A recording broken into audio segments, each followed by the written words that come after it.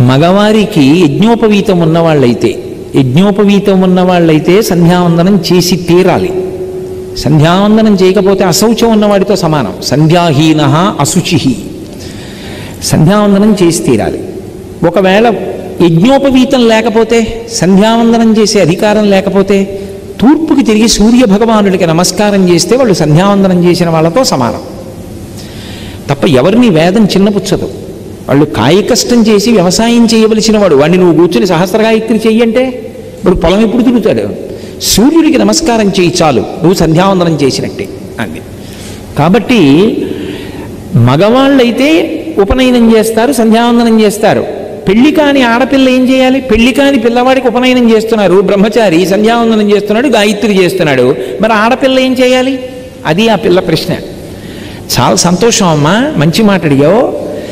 అసలు సంధ్యావందనం చెయ్యి గాయత్రి చెయ్యి ఈ రెండు మాటలు ఎందుకు వచ్చాయి అంటే బ్రాహ్మణుడికైతే గర్భాష్టమం అమ్మ కడుపులోంచి బయటికి వచ్చినటువంటి ఏడు సంవత్సరముల రెండు నెలలు. అంటే అమ్మ కడుపులో ఉన్న పది నెలలు లెక్కలో పెట్టుకుని ఎనిమిదో ఏట చెయ్యాలి.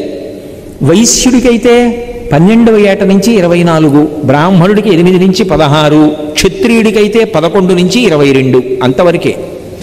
అది కూడా ఆ సంవత్సరం చేసేయండి అని ఎందుకు చెప్పలేదంటే గబుక్కుని తల్లిదండ్రులు ఎవరైనా వెళ్ళిపోవచ్చు ఏటి సూతకం రావచ్చు ముహూర్తం కుదరకపోవచ్చు ఇలాంటి సమస్యలు ఉంటాయేమోనన్న ఉద్దేశ్యంతో కొంత వ్యవధి ఇచ్చింది శాస్త్రం. ఎనిమిది నుంచి పదహారు లోపల చేయాలి పదహారు దాటితే ఇక గాయత్రి పట్టివ్వదు.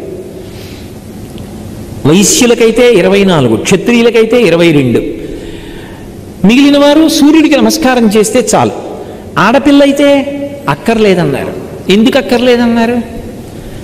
ఈ పిల్లలకి చిన్నతనంలో అమ్మ కడుపులోంచి బయటికి వచ్చిన తరువాత ఎనిమిదో సంవత్సరం వచ్చినప్పటికీ మనసులో లింగ వివక్ష తెలుస్తుంది. వీరు ఆడ వీరు మగ అన్న తేడా తెలుస్తుంది.